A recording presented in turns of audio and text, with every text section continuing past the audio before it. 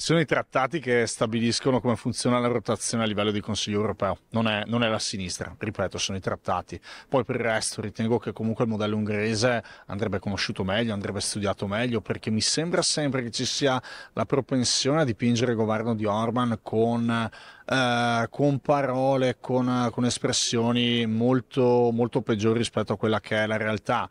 Eh, abbiamo visto che in Ungheria i tassi di crescita sono dei tassi interessanti, parliamo di crescita economica, di crescita demografica, gli imprenditori italiani che si trovano in Ungheria si trovano bene, per cui oggettivamente penso che prima di criticare un modello bisognerebbe conoscerlo.